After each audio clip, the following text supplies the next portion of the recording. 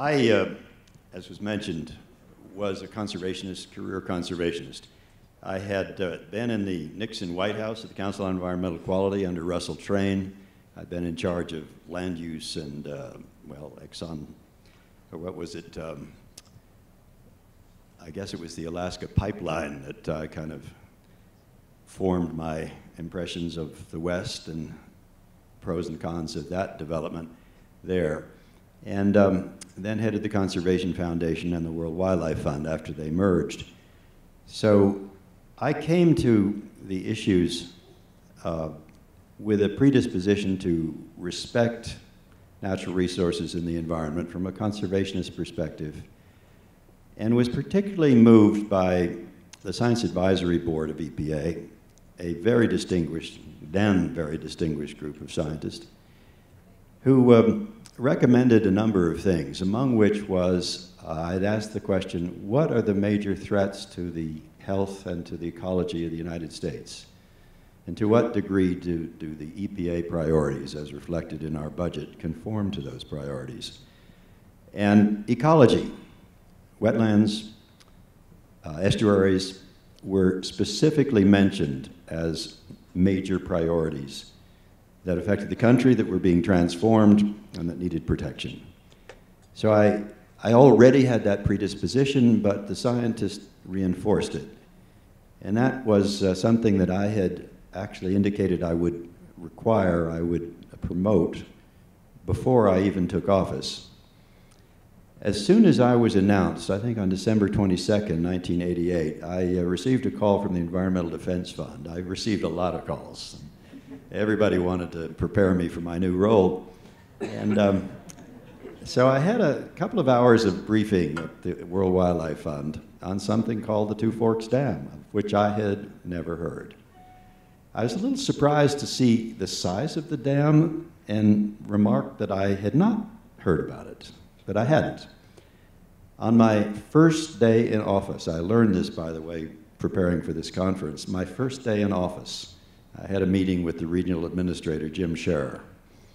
And uh, seeing that I was questioning the premises of the project, very much in the way I had been briefed by the Environmental Defense Fund, he became alarmed and he said, You know, this has been approved by all levels of government. The governor's behind it, the mayor is behind it, the regional office is behind it, your water staff supports this. Your timing is not the best. I remember looking at him and saying, and thinking to myself, I'm a raw new administrator. I have found the men's room, but um, your timing is not the best. I said, you, you could have cleaned this up if this is a project of such importance and such unanimous support. Odd that it comes to me.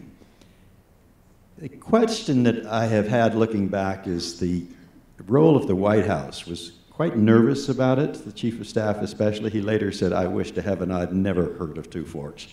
I said, well, I wish you'd never heard of Two Forks too. He was not a supporter of my decision.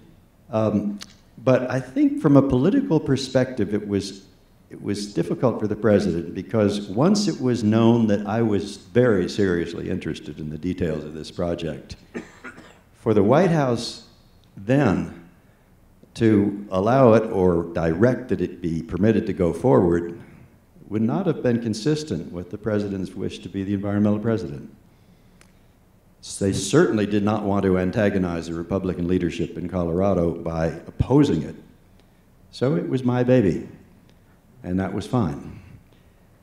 When I began to look at it, the first thing that I noticed was that the population and usage, water usage, water need numbers looked very high. First of all, probably few remember, but Denver was losing population in those days. So the idea of projecting very significant increases related on per capita use was questionable. Secondly, the Corps of Engineers figures had a 20% increase in per capita water use.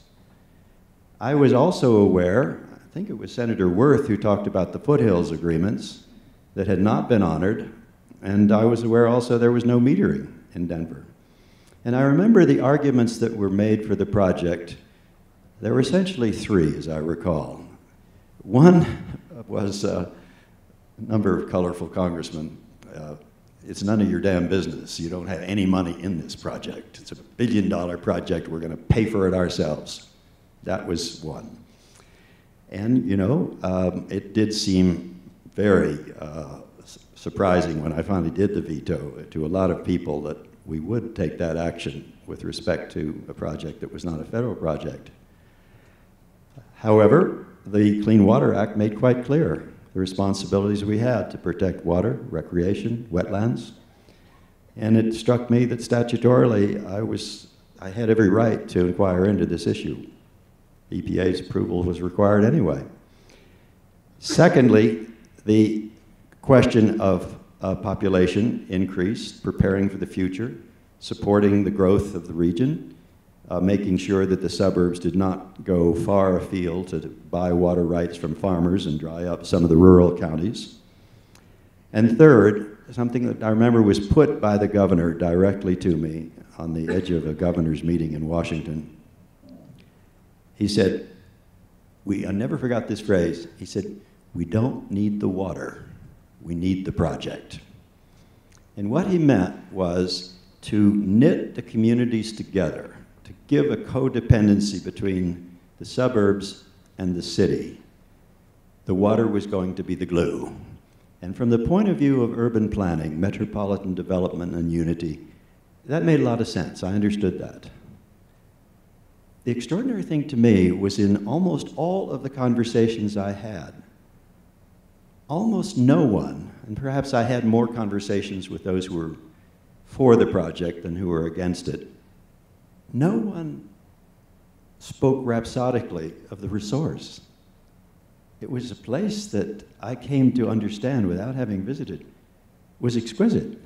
It was marvelously labeled the St. Peter's of trout fishing. And as I said last night as somebody, uh, I half expected that Fred Krupp and the Environmental Defense Fund would bring in the Pope before it was over to oppose the project. It, um, it was those things, though. When I inquired of fishermen and people who really knew the area, it was an extraordinarily important, beautiful resource. And so there was every reason to take it seriously and to ask, is it really necessary? There was no water crisis. The projections showed that there would not be a specific need for the water for 20, 25 years, and that was without the efficiency, the conservation measures that had yet to be taken. And we all know that cities like Seattle, Los Angeles, many others have, have in some cases doubled their population without increasing their water use. So there were great opportunities to certainly to prove before taking a resource of that magnitude that it was absolutely necessary, but there was no crisis. The decision that I made was to start the veto process, and we had first to have a regional administrator, Lee DeHihns, confirm that uh, all of this was merited. The structure of EPA was very carefully designed to work against any precipitous decision of such magnitude. And then the decision went to the assistant administrator for water, sitting to my right, LaJuana Wilcher.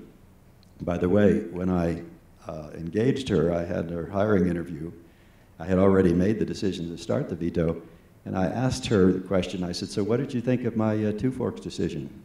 And she sat up very straight. She looked out the window. She said, I think it was a big mistake. And I said, Well, you have my full attention. And I can't believe I hired her, actually, after that.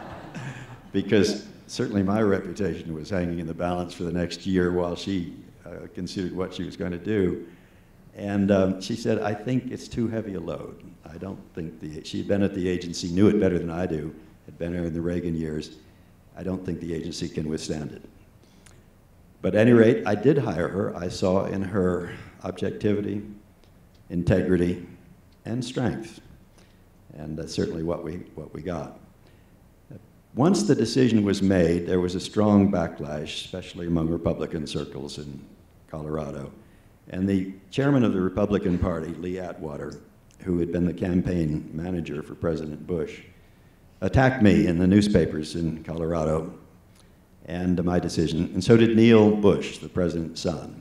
And I went over to see Atwater when he came back to Washington, and he was He's a little guy, and he was feisty man, and he was standing up with his hands up. He said, in front of a bookcase, he said, I'm innocent, I'm innocent. And he said, well, I'm not, I'm not innocent. But he said, I'm going to be innocent. He said, look, uh, I had to do that. Uh, you've driven those guys crazy out there. They're furious. But the mail is running seven to one in your favor at the White House. And I remember the communications director for the White House said, you know, there are 30 million fishermen, and he was one of them in this country. And um, it surprised the White House. It surprised me.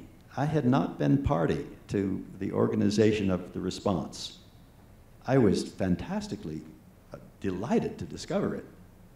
And then it dawned on me, became very clear that my friends in the environmental field were doing this, that uh, Dave Wyman was one of them.